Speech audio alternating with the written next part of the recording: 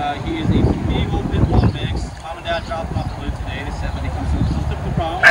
Mr. Porter likes to throw on a leash, uh, thinks a little bit of socialization, likes to jump on them when he's not supposed to.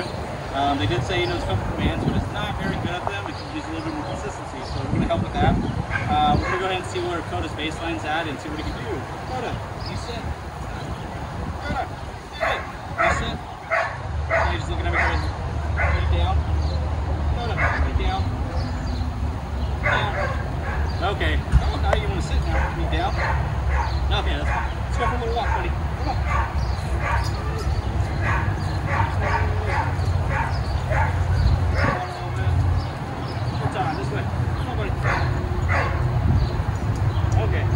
definitely see you use a little bit of help with the, uh, um, walking on it.